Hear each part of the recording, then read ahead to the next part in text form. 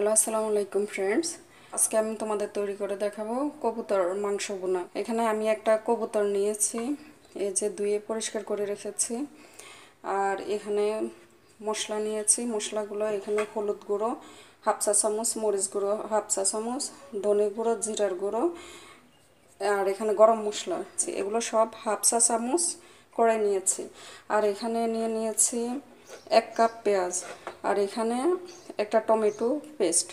এটা সিদ্ধ করে চামড়া উঠিয়ে তারপর পেস্ট করে নিয়েছি। আর এখানে আদা এক চা চামচ, রসুন এক চা চামচ। আর এখানে এলাচ, দারচিনি, তারপরে তেজপাতা আর লবণ। এখন আমি রান্না করে দেখাবো তোমাদের। আমি এখন তেল দিয়ে দিচ্ছি। আর এর মাঝে দিয়ে দিচ্ছি প্রথমে পেঁয়াজ গরম মশলা।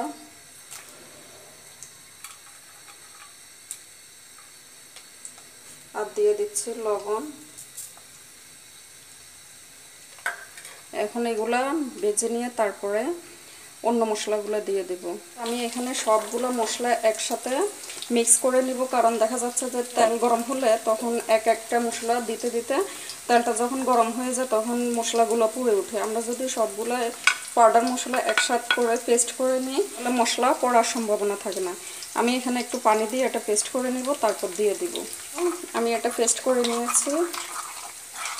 এভাবে দিলে তাহলে আর কোনো মশলা পোড়ার সম্ভাবনা থাকে না। মশলা পুড়ে গেলে তরকারির স্বাদ ও গ্রাম দুইটাই নষ্ট হয়ে যায়। এখন একটু নেড়ে দেব। মশলাটা দিয়ে দিচ্ছি। এখন আমি সবগুলো মিক্স করে ডাকনা দিয়ে দিব।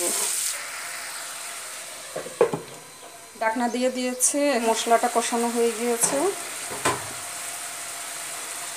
এখন আমি মাংসগুলো দিয়ে উল্টে পাল্টে নেড়ে ছেড়ে দেবো। দেখেন, এই যে সাইডগুলো দেখলে বোঝা যাবে যে তেল উঠে উঠে আসছে এখন আমি মাংসগুলো দিয়ে দিচ্ছি।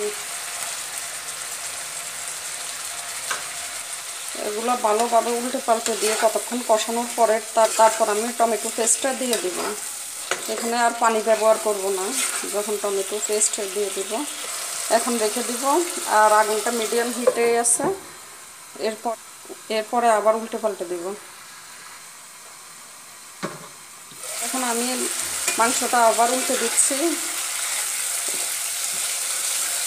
যখন জলটা একবারে শুকিয়ে যাবে, তখন টমেটো পেস্টটা দিয়ে দেবো। কয়েক মিনিটের জন্য আবার দেখে দিচ্ছি। পাঁচ মিনিট পরে ডাকনাটা খুলেছে। এখন এই অবস্থা হয়েছে। এখন আমি টমেটো পেস্টটা দিয়ে দিচ্ছি। এখানে কোনো পানি ব্যবহার করব না। টমেটো পেস্টটা দিয়ে আবার ভালোভাবে মেরে দিচ্ছি। এটা মিডিয়াম হিটে আবার আট দশ মিনিট রেখে দেব। রেখে দেওয়ার পরে ডাকনাটা খুলে আবার দেখাবো। এখানে যদি আগুনটা ফুল দেওয়া হয়, তাহলে দেখা যাচ্ছে যে জলটা খুব দ্রুত শুকিয়ে যাবে। বারবার জল দেওয়া লাগবে। মিডিয়ামে থাকলে এটা আস্তে আস্তে মাংসটা হতে থাকবে, এতে এতে রান্নাটাও ভালো হবে, স্বাদটাও ঠিক থাকবে।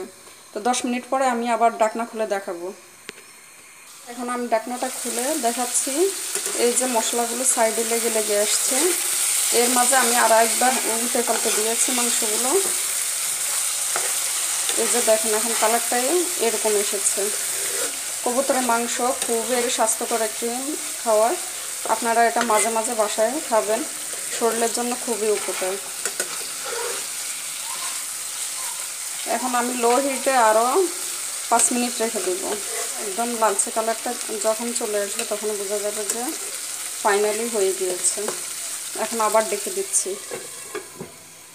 দেখো, এখন কালারটি এই যে দেখো সাইডে সাইডে একদম লাল লাল হয়ে আসছে। একদম লেগে লেগে আসছে।